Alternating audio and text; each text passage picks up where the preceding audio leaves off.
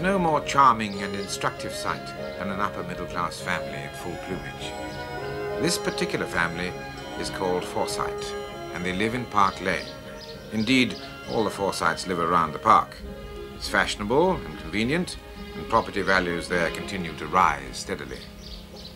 Yet although each Forsyte is impressive enough singly, their true flavor can only be appreciated on the occasions when they gather together at one or other of their well-appointed houses.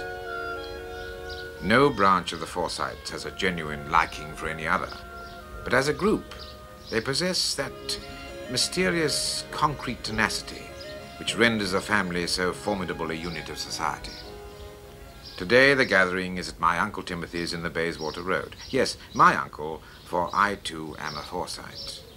They call me young Jolyon because my father, old Jolyon, is at present head of the family. My father was one of the first to realize that the English have an insatiable appetite for tea and has made a blameless fortune out of it. Aunt Anne, born in 1799, the oldest Forsyte. She lives here with Aunts Julie and Hester. Together, they care for Uncle Timothy, the youngest brother, whom you are unlikely to meet very often. Uh, he is probably the most cautious man in England. Mr. and Mrs. James Forsyte. Forsyte, Bustard, and Forsyte, solicitors at law. If anyone's ever met Bustard, uh, they don't mention it. Miss Winifred Forsyte, Mr. Soames My Forsyte. cousin Soames, a junior partner, and a coming man, they say. Uncle Swithin, James's twin, the fat and lean of it, my father calls them. Swithin's an estate and land agent, a bachelor, does himself very well. He claims to have been a devil with the women. I doubt it. On the left, Uncle Roger, who collects house property as you or I would collect postage stamps. On the right, Uncle Nicholas, company director and shrewd investor in the shares of those companies. They both have large families and incomes to match. And we all come here to Timothy's in the Bayswater Road, known as Forsyte Change, to exchange news and gossip, to reaffirm our confidence in the stability of the family. And we go away comforted and reassured. Why not? We're the backbone of England. We? Well, Soames is certainly, or will be. That fellow has a very highly developed sense of property, even for a Forsyte. And I? Well, I suppose I'm a little different. No better, I assure you, but different. For one thing, my own sense of property is negligible. For another, uh, though the aunts and uncles adore Soames, I dislike him as intensely as he dislikes me. There are other things which will be revealed, but one of them is that I paint. Only watercolors, but still I paint. And every Forsyte knows there isn't any money in that.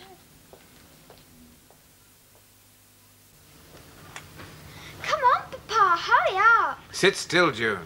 I'm looking out for Grandpapa. He'll be late in a minute. Grandpa's never late. He's like royalty. You can set your watch by him. I haven't got a watch. June, you're supposed to be looking at Fraulein. She doesn't keep spinning round like a top. I'm a top. I'm a top. You're a pest, and I don't think I shall paint you after all. So? And when your papa is famous, you'll be sorry. There's Grandpapa. Please, Papa, may I? All right, run along, pest. Hopeless. May I look? Bad, isn't it? No, no, there's something's off, June. But not much, eh? You're right. Landscape for me. At best, landscape with cows, and only if the cows are lying down. You underestimate yourself. Do I? I think I see myself very clearly. Papa, we're going to the zoo, and Mama's coming with us to see the lions and the monkeys. You promised we'd see the monkeys. So you shall, all alive oh, in their cages. Well, Joe, Father, how are you? pretty well, my boy. Guten Tag, mein Herr. Uh, Gute Tag, Fräulein. No, Grandpapa, not guter Tag. It's guten Tag. Is it? What's the difference? You'll never learn. I shouldn't bother if I were you. Fraulein Hilmer speaks better English than either of us. Ah, my dear. Papa. Well, now, are we all ready? Oh, now, June, dear, you're not. Now, why not? Fräulein. Oh, no, Now, I'm my so fault, sorry. Frances. I- I, I kept her. He was drawing me. Only he was being beastly slow. Beastly. Oh, really, June? well, he was. Fräulein. Ach du schrecklich. Kommt. Raus, Liebchen, raus. Come on. Germans. She's an Austrian, father. Same thing. Oh, indeed, no, Papa. Quite, quite different. And Fräulein Hilmer is really a most exceptional girl. Well, uh, a little quiet, perhaps. Withdrawn. But then that, too, can be an advantage, don't you know?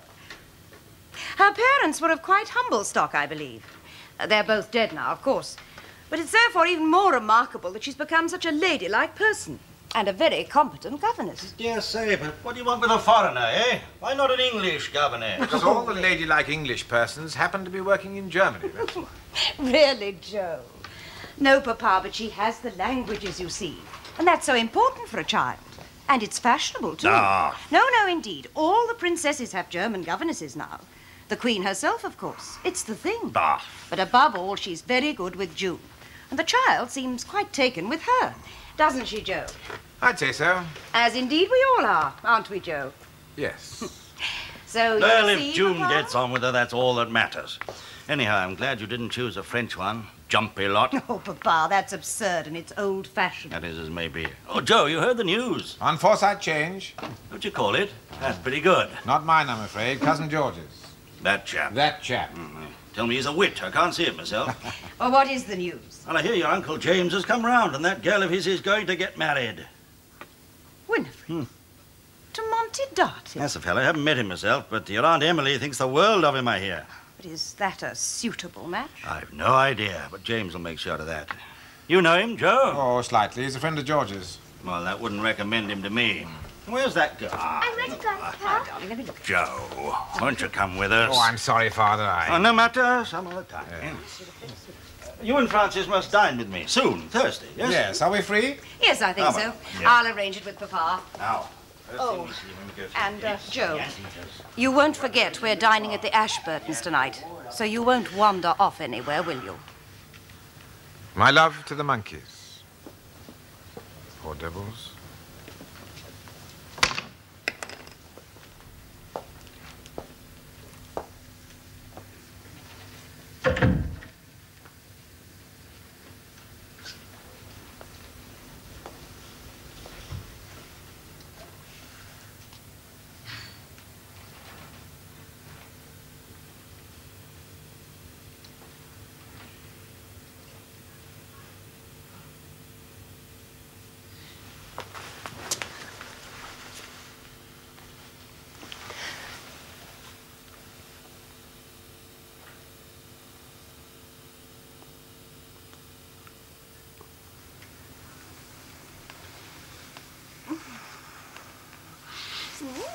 No, Monty, no. That's quite enough. There's no such thing as enough. Monty, you're wicked.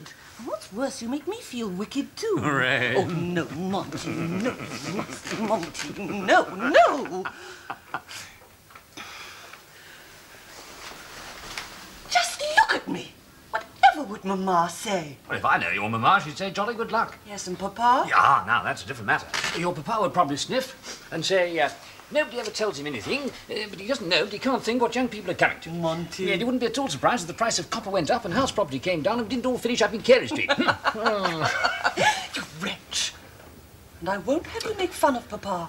He's been very good allowing us to be engaged. but Freddie, my love, that's just what I mean. We are engaged. Yes. We're engaged. Oh, Monty. Dear Monty, I do love you very much. And we will have a delightful wedding at St. George's, and all the other Forsyte girls will be bright green with envy because you're so gay and handsome and dashing. But I shall look down my nose and be quite composed and cool. But underneath, here, absolute turmoil, Sounds ghastly. agony. It's blissful agony. Do you think we'll be able to go through with it? I can. Can you? I dare say we'll survive. oh, but none of that really matters.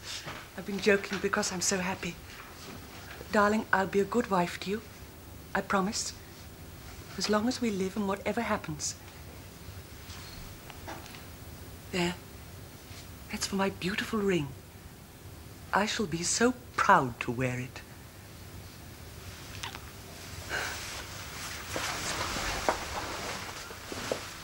Mama, Papa, are you there? I want them all to see it. My dearest child, I'm so happy for you. Thank you, Mama. And look, exquisite, dear, charming. Five diamonds are always good taste. Papa, look. Monty, hmm? dear. Hmm. That must have cost a pretty penny. James! Well, I don't know. I can't tell. To keep its value, I shouldn't wonder. Never mind that, Papa. Oh, you're quite right, sir. There's nothing like value for money. That's what I would say. Well, isn't anyone going to congratulate us? I shall. Every happiness, Winifred. Thank you, Soames. And to you too, Dartie, congratulations. Thank you, Forsyte. Uh, Not only do I gain a bride, but also a brother. There's richness for you, as Mr. Squeers said when he ladled out the dishwater. Now, what's that? here? Who's this chap Squeers? You know, dear, one of Dickens' characters. Dickens, what's he got to do with it? The fellow's been dead for years. Good riddance, too damned radical. Now, James, don't get into a tizzy. You know it upsets your digestion. Oh, I'm so pleased it's settled at last, Monty. Now we can all be comfortable. But it's such a distracting time for everyone, especially Winifred, of course. Girls do feel they sing so much more deeply than men, I always think. Winifred, dearest. There. Soames, don't they make a handsome couple? Very handsome. You see, James, Soames agrees with me. And if Soames says so, it is so. And Soames, dear, you'll be next. It won't be long now before you're engaged, too. What? Uh, And- what's that? Yeah, nobody told me. Why didn't There's someone... nothing to tell, Father. Mother's romancing, that's all. Oh, sure, now you tell Now, me. You'll if be they- the first to know. Don't mind my husband. He always insists on being told things. Oh, why? I can't imagine. He always finds them disagreeable. yes, he does. I can't imagine that. now, Monty, I shall send you away. Oh, Mamma, no. Indeed, yes. Oh, but we shall expect him for dinner, if he's free. I shall be delighted. At seven, then. Winifred, you may see him to the front door. Thank you, Mamma. But remember your decorum, if any of the servants are about. Yes, of course, Mamma. Run along, then. Au revoir, Monty. Au revoir. Goodbye, sir, and uh, thank you. Mm, yes. Soames. Bless you, Papa. I'm so happy. I dare say. Dare say. There now. No. Is there anyone we should ask for tonight, I wonder? Not enough notice. No, perhaps you're right. But uh, isn't there someone you'd like? Just to make up the number? Eleanor Otway, perhaps. Millie Bannister. No. Oh, pity. Just the family, then. But we must have something special. I shall go and see cook at once. Uh, plover's eggs? Lobster. I wonder if Monty likes lobster. Oh, we'd better have both. Well, Soames, you don't say much. What do you think of him? Oh, he's an oily bounder. Ah. Ill-bred. Too much of a clown for me. I don't care for witticism. Oh, why should you? I don't myself. Still, it might be worse. You think so? Winifred's 24. 24, eh? Well, time she was married. Yes, yes. Great girl like that. Your mother was 18. Yes, I know. You were 40. That's too wide a gap. I had my way to make. Well, that's the next point. We don't have to know his family because he hasn't got any. He's already come into his money, such as it is. Uh, 8,000, he tells me, on the house in Green Street. Hmm. That is freehold. Oh, yes, yes. I've asked to see the deeds. He's got this seat on the stock exchange. Whether he works it, I don't know. Hmm. I can't tell, but I dare say there's some income there. Well, as long as he brings every penny into the settlement. Oh, he's agreed to that. Well, keep him up to it, won't you? He'll try and wriggle out if he can. But, as I say, it might be worse. Now, as long as Winifred's secure. Oh, she will be. I'm putting her own 5,000 in trust, and she'll get her allowance quarterly. He'd not lay a finger on my money if I can help it. Oh, I'm not easy, my boy, can't say I am. There, between your mother and Winifred. Always thought that girl was a real Forsyte, level-headed. She's in love with the chap, I suppose. Oh, there's no doubt about that. That's the most important thing, Father. You'll see your grandchildren.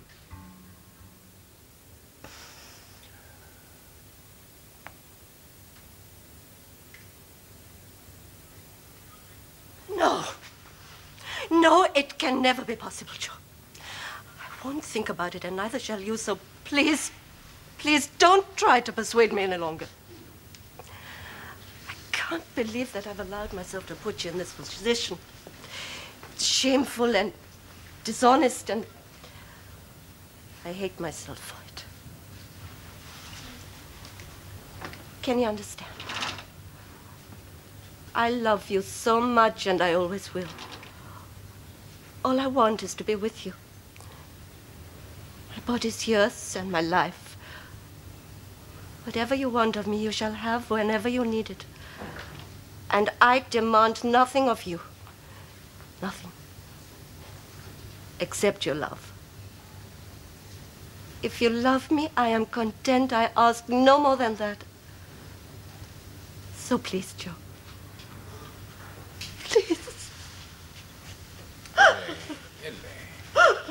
Come here. No. Then I must come to you. Oh, my poor love, you are in a state. Come on. Come. Stop crying. Please try to stop crying. Shh, quiet, quiet. You must try and stop crying. It can't be good for you. Besides, listen, it makes you excessively damp. Yeah. That's better. Come and sit down. I want to talk to you. There's nothing more to say. That's where you're wrong. But first, are you comfortable? Oh, yes. Good. Now, I gather you're content to remain my mistress, Yes, Joe. and that this relationship should continue indefinitely. As long as you wish it. On the grounds that I'm supposed to be a respectable person, a good family, social background. In short, a Forsyte. I am only thinking, Joe, of your father and June. They'd be hurt. Of most course dreadfully. they'll be hurt. Especially my father. June's too young to care much. And your wife? Frances won't be hurt at all. Oh, how in her pride, perhaps, and it may be inconvenient for her socially for a month or two. But you must know, my darling, that for years our marriage has meant nothing to either of us, except as a social convenience. When we married, we were too young. We didn't know each other. Now, now that we do, nothing remains. Not even liking, let alone love. Now, I suppose this doesn't matter normally in our society. Jack takes a mistress, Jill consoles herself elsewhere, or goes in for good works, as long as the facade remains intact. The show of respectability. That's what counts. Oh, you're so cynical. No, my darling, truthful. Then why don't you play this game? Do you want me to? Do you really want me to? And let me ask you something else. If I were free of all these obligations, would you marry me? Oh, yes, Joe. And that's what must happen. Frances must divorce me, and I shall marry you. Is it so simple? No, no, it isn't. It's the very devil of a coil. We shan't be forgiven for not playing this game, as you care to call it.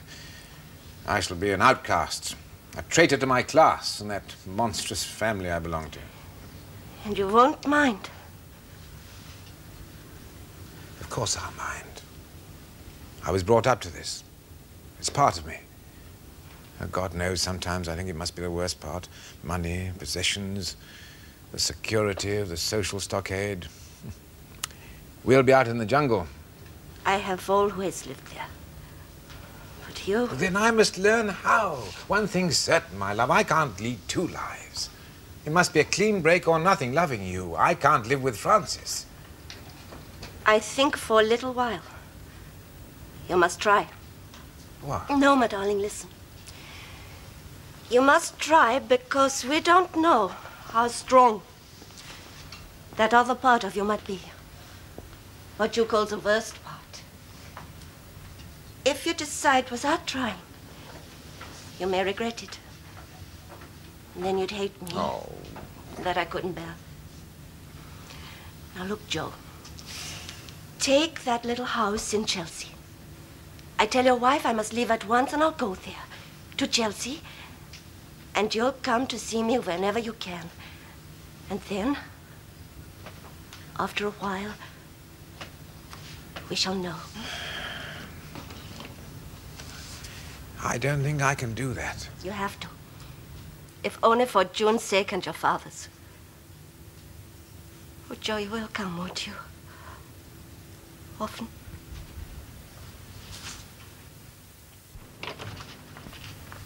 Ah, hello, dearest.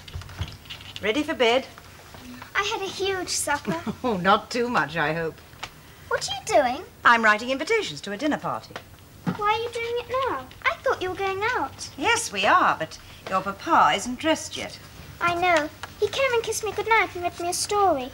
I see. May I stay up? No. I mean, for the dinner party. No, dear, you're far too young. When may I? I've told you before, when you're 16.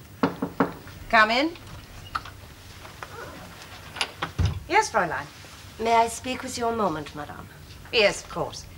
Now, June, dear, say good night and run upstairs. There's a good girl. Mmm, you do smell nice. I should hope so. Good night, dearest. Night, Mama. Gute Nacht, Fräulein. Gute Nacht. Schlaf wohl.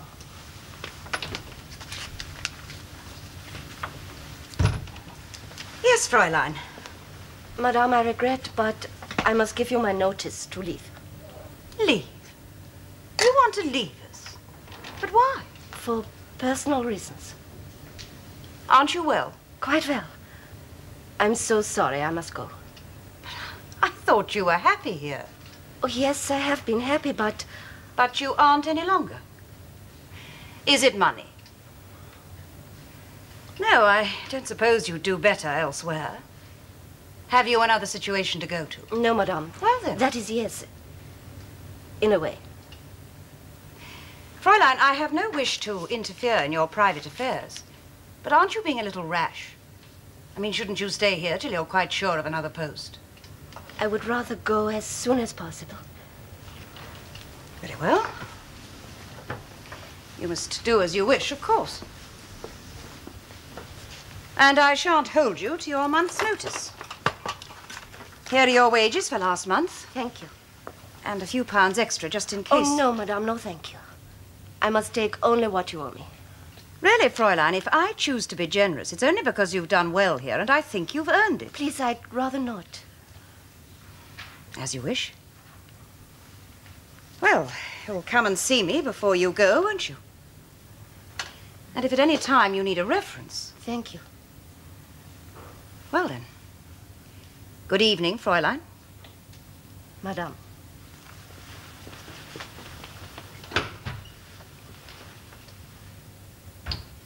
Extraordinary girl.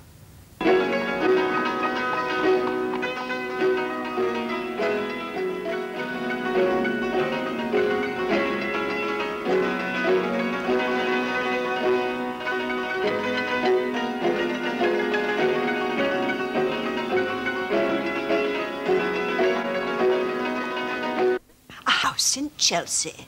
Oh, George, dear, you must be mistaken. Not in the least, Aunt Hester, I assure you. Father saw them as plainly as I did. Plain as a pike pikestaff. Chap had a latchkey. Ushered her in as bold as brass. He's keeping her. the young devil. Oh, really, Swithin, that's not quite nice. Isn't it, by Jove? Wish I had my time over again. Pretty little thing, they tell me. Is she pretty, Roger? Pretty? How should I know? Young woman, that's all I saw. Quite enough, too. Oh, she's pretty if you like that type, which I don't much. Great dark eyes, trim little figure. Chelsea, he could have property there, I suppose. Nonsense. Property down there's no value at all. In that case, Roger, what were you and George doing in Chelsea? What? Don't tell me that you Now, were. look here, Swithin. Don't, Father. Keys excuse. Anyways, property or no property, why take that German governess unless oh, Quite. Especially since she's left their employment. left there? Oh, yes, Nicholas.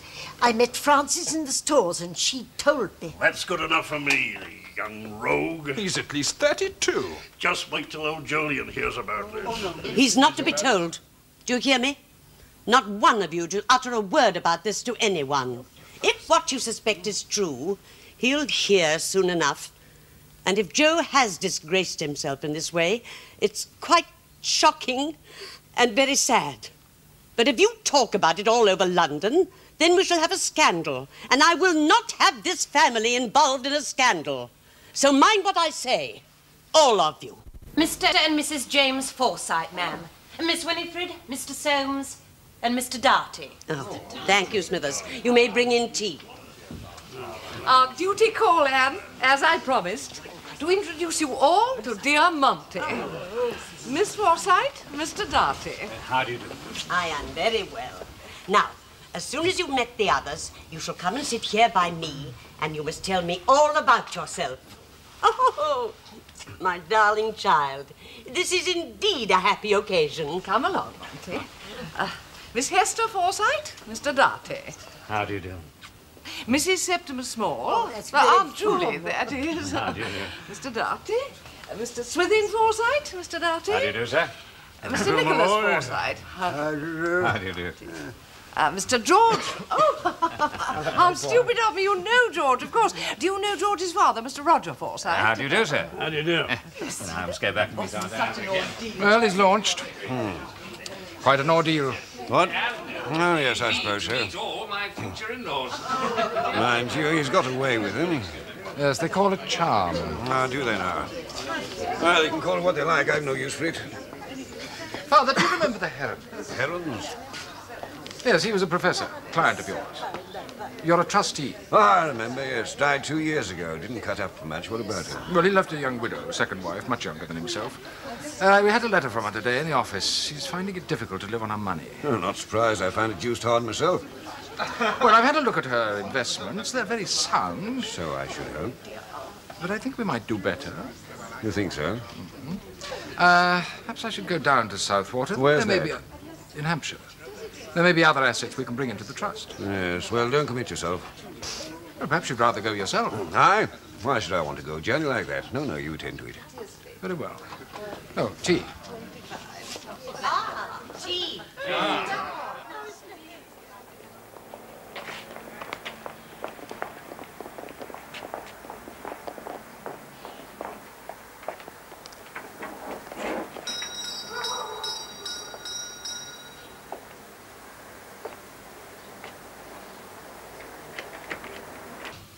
Mrs. Heron's expecting Oh, me, Mr. yes, sir. Forsyte. Please come in.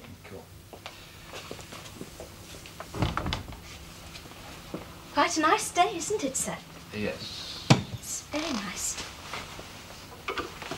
Shall I take your coat, sir?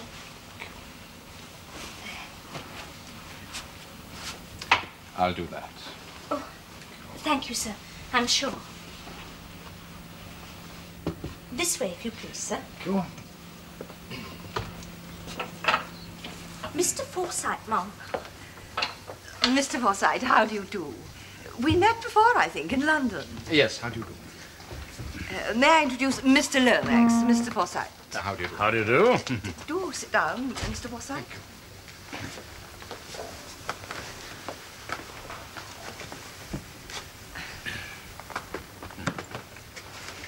Uh, you had a pleasant journey down, I hope, Forsyte? thank you, yes. Mr. Lomax is a very good friend and near neighbor of mine. He knows all about my situation and the fact that I wrote to you for advice. Oh, I'll uh, leave you if you prefer it, No, not at all, if Mrs. Heron... Uh... Uh, my father would have come down himself, since he is co-trustee with you, but, uh, well, he's not young anymore, so perhaps you'll accept me as his deputy. It's most good of you to come so far on such trifling business as mine, Mr. Forsyte. Nothing to do with money is trifling, Mrs. Heron. Indeed, no. Particularly when one has so little. And Mr. Lomax has been kind enough to help me since my husband died in such matters as he can. Oh, I am not a financial wizard, of course, don't you know? but I felt that Mrs. Heron should have professional advice. Quite. Uh, before I left London, I drew up a list of possible investments, Mrs. Heron. That is a copy. Are they quite, quite safe? Our brokers recommended them, and so does my father. And you, Mr. Forsyte? Certainly. Then naturally one has every confidence. You have no other source of income? No land, no property? None. Professors are seldom rich, Mr. Forsyte. And this house? Only a lease, I'm afraid. That can be worth something. and not when there's only two years to run. Quite. And that's all. Nothing more. Oh, Irene has an annuity of fifty pounds a year. But naturally that is hers entirely, and at present being devoted to her education. Irene. My stepdaughter. Ah, yes. Then I'm glad to say that by making the changes I've suggested there, you should be able to augment your income to some extent. To what extent? Possibly 150 pounds a year. A hundred and fifty, as much as that? Now, every company fluctuates in its dividends now and then, of course, but that is a reasonable estimate. Oh, this is perfectly wonderful, Mr. Forsyte. How stupid I was not to consult you before. Yes, you have certainly taken a great deal of trouble, Forsyte. Trouble? Not at all. Uh, do you wish to think about this for a day or two? Dear me, no. How soon can the transfers be made? Oh, that might take a little time. possibly a month. I'd like to study the market variations for a week or two and buy at the best price. I see. Then, as a trustee, you must sign an authorization, which I'll bring down to you. Oh, that will be a nuisance for you. Not at all. Well, at least we shall have the pleasure of seeing you again. Thank you. Oh, there is one other thing. If you wish it, and only if you wish it, may I suggest to my father that he gives up the trusteeship and that I be appointed in his place? Oh, of course. say, what a good on. idea. Don't you think so, Willie? Oh, uh, upon my soul, yes, yes. Excellent idea, Forsyte.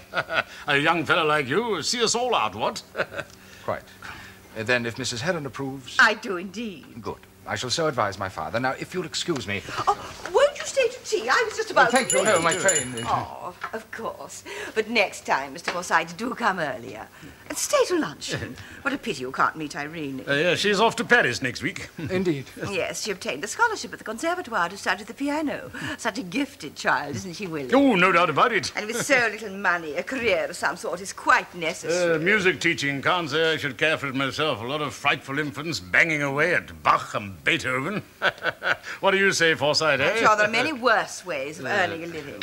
Well, we shall look forward to your next visit. And believe me, I'm most grateful. Not at all. Uh, goodbye, Forsyte. Uh, Is Mr. Tim- Timothy coming down to tea, do you know? He said not, ma'am, so I took him a tray upstairs. Thank you. What's keeping Julie, I wonder? I haven't any idea. Thank you, sir. Julie, you're very nearly late for tea. Where have you been? Well, when dear Septimus was alive, we always had tea at five. So I cannot accustom myself. After 15 years? Really, Julie. Oh. Nonsense. Have you been out? Just in the park for a short walk. Oh, Everything looked so pretty in the sunlight. Yes, yes, but but uh, did you meet anyone? Only Mrs. Roger and Mrs. Nicholas. I wanted to talk to them about the wedding. Oh, the Rogers are giving silver. they always do. But the only thing they could think about was, uh, you know, the Chelsea adventure. What's that? Who told them? Oh, oh I've no idea, dear. Now, Julie. But, but Anne, dear, uh, Roger was the first to find out, don't you remember? He was bound to tell Mrs. Roger. And she was bound to tell Mrs. Nicholas. And so it goes on. Oh, tittle tattle. Oh, really, dear, but it's only in the family. And Hester, it appears that young George, so enterprising, I think, actually went to see the estate agents in Chelsea. Uh, Roger knows them, of course. And what do you imagine he found out? What? The German girl is living there, but she's not the tenant. Who is? I give you one guess. Now, Julie. No. I have told Mr. you Jolyon, not. ma'am. Oh. oh, Jolyon. How nice. I've had board meetings all day. Dry stuff. I thought I'd look in for a moment. Um, how's Timothy? He's he's a little upset today. He's always upset. What is it this time? The German Emperor. Timothy read in the Times of his attempted assassination. Oh, it's too dreadful. I don't know, blustering chap. Oh, Jolyon. Anyway, what's it got to do with Timothy? He's not a German. He's anxious about the price of shares. Timothy's in consols, isn't he? Three percent for his money. That's all he gets. All he ever will get. More fool him. Oh, Jolyon. You can tell Timothy from me that if ten German emperors were assassinated tomorrow, consols would not budge one farthing. I will tell him. Thank you, Jolyon. Dear Jolyon. So reassuring. Speaking of Germans, I was. thi- Yes, I was only. And what is it, Julie?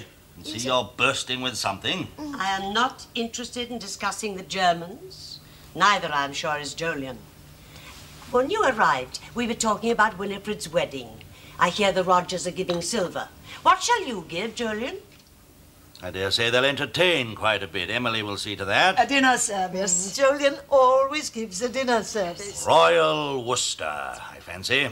Get your money's worth. Very appropriate, Jolyon. And Winifred is sure to look after it. Such a very sensible, level-headed girl. Voilà. Et voilà. Oui, c'est très bien. Is it all right? Oh, it will be, mademoiselle. It will be. Madame de Brie, Hmm? you're married, aren't you? I was. Now no longer. Oh, I'm sorry, what happened? The Prussians happened nine years ago. The war happened, mademoiselle. Was your husband killed? He was. I want. No, perhaps I shouldn't. Now, we take off the gown. Careful. Careful, please. Yes, since 1870, France is full of widows.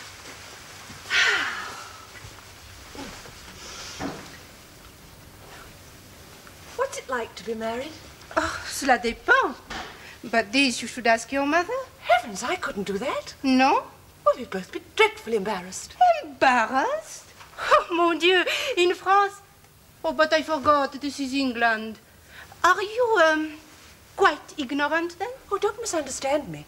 I know what I suppose I ought to about men and women. Well then. But to be married, to leave your own home and live alone with someone who's really quite strange to you.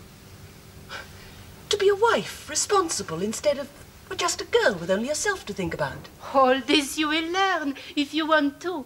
For the rest, marriage is like life itself.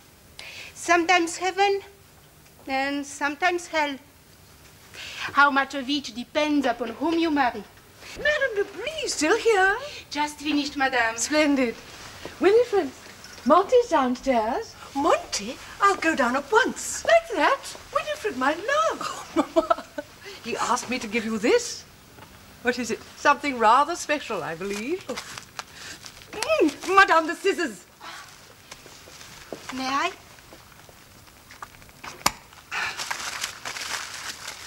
Oh, pearls. Oh, how beautiful.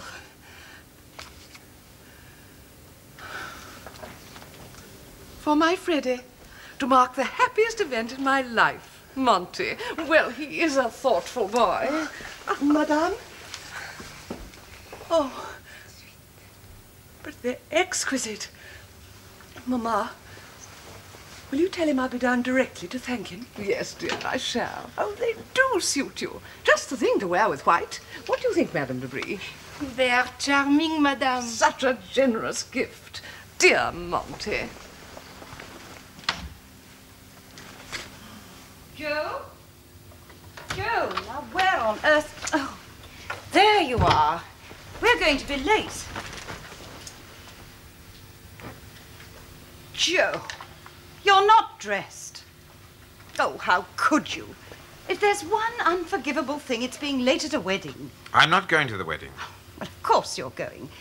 If you go directly, you'll still be Frances, I told time. you ten days ago I should not be going. I don't remember. You do, but you didn't choose to believe it. Well, why should I believe it? I thought it was a caprice. One of your moods. Heaven knows there have been enough of those lately. Yes, I know. I uh, apologize. You apologize. Well, that's splendid. But that's all you do. And I must tell you, it isn't enough. You've been behaving like this for months now. Refusing invitations, coming home late when I've invited people to dinner, taking no interest in anything as far as I can see. Don't you realize the importance of our social life, of holding our position in Frances, society? please sit down. I want to talk to you. Talk? Well, I haven't got time to talk, even if you have. This is your cousin's wedding, not mine. It's your family that's going to be offended and vexed if you're not there. And June, she's a bridesmaid for the first time. You know she'll be utterly wretched. If none of that means anything to you, what about me? Don't I deserve your courtesy, at least? How do you think I'm going to feel if I have to go there without you? Well, you don't have to go either. It- Not go? But I want to go. Please, it's right and proper that I should go, and that you should take me. All I'm asking is that you should behave like the gentleman you were brought up to be. Frances! Sometimes I think you. You are the most typical Forsyte of us all. Is that so bad a thing? Well, will you come?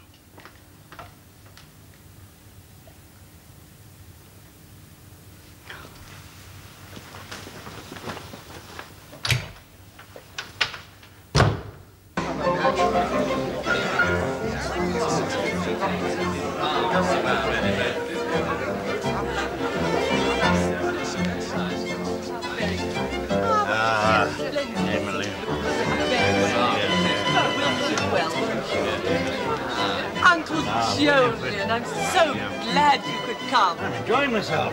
Always like a chance to kiss a bride. well, young fella, the fine girl you got here, you look after. her. Yes, I will. And Uncle Jolyon, many, many thanks for our present. I shall feel so grand at our first dinner party. You must come to it. Oh, you won't want a pack of old stagers. Ah, these the famous pearls. Aren't they lovely? famous, sir? Forsyte chains and talked of nothing else for the past two weeks. yes.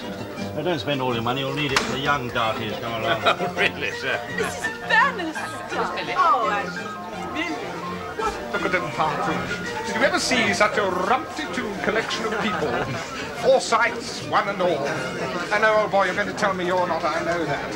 Perhaps only 20% are. But look at them. Alike as peas in a pod. And a wedding partridge. A Forsyte wedding. That's when you see us in our most splendiferous splendor. In all the glory of property. And that's what it is, Partridge, old boy. A major property transaction. And all the family have come to the market to see fair dues. Look at my Uncle James. He's lost a daughter and gained a son. Swap one piece of property for another. And damned if he knows whether he's got a bargain or a disaster. well, my little one, you carried that train like a Trojan. I did, didn't I? And it was beastly heavy too. Seen your father anywhere? No, Mama's over there, but I haven't seen Papa. Perhaps he didn't come. Nonsense, he's here somewhere. Look, let's look for him, shall we? Yes, rather. Four in hand, Forsyte, they used to call me in the old days, when my brother Jolyon and his partner, Nick Treffry, a wild chap, Nick, used to drive down to Richmond together. Mind you, I can only manage a pair these days, but the name sticks, don't you know? Anytime you'd like an airing, my dear, I'll drive you out. Anytime. A smart turnout needs a pretty woman to set it off. ah, Soames. Do you know Mrs. Steele? My nephew, Soames. Well, your father's doing us very well. I'm glad you think so, Uncle. Yes, by Jove. Not as good as my Heinzing, but a decent wine. A very pretty little wine.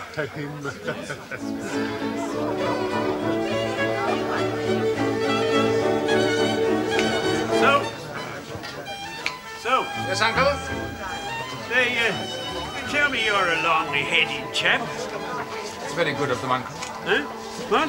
Oh, your Uncle Nick and I are having an argument. It's a legal matter in a way. Nothing to do with me, not my affair at all. No. Was that? Well, it's about some property of mine in Shoreditch. In short, the city Uncle Roger. Yes, my boy? It sounds a complicated problem. What do you mean? You haven't heard it yet? Well, perhaps we should discuss it at the office. Shall I call round on Monday? What? No. Uh, well, I'll talk to your father about it. Very well, Uncle. Huh. Swollen-headed, they should have said. Come now, Roger, you asked for that. Why should you miss a fee? That boy's no fool. Anne, dear, I do think it was noble of you to come. I wouldn't have missed it for the world. James, everything has gone exceedingly well. Mr. Dartie seems a nice young man. I liked the way he spoke up in the responses. I cannot bear not to hear what people say in church. You don't think we've overdone it, uh, too ostentatious? Fiddlesticks, that's what weddings are for. Oh, I do agree. Who'd want to go to a quiet wedding? oh, yes. Dear Soames, I'm sure you've been a pillar of strength.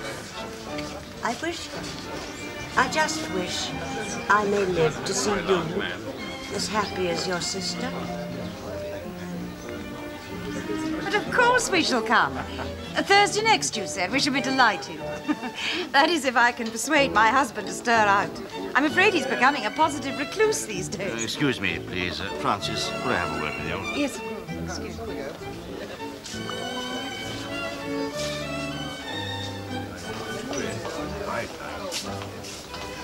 Frances, where's Joe? I haven't seen him.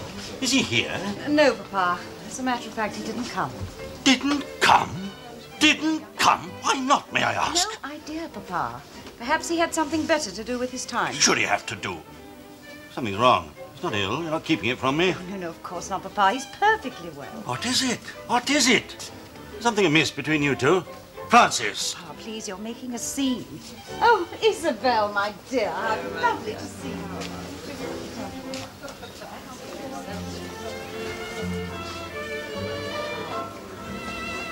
Well, naturally, we've sworn not to tell a soul, not even our nearest and dearest.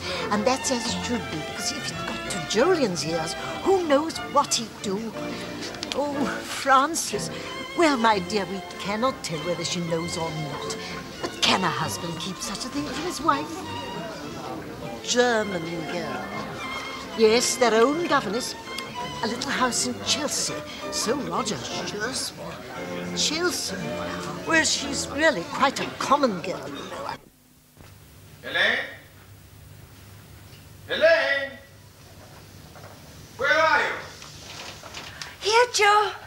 Up here. Aren't you well? A touch of migraine, nothing at all. Oh, Joe, I'm so pleased to see you.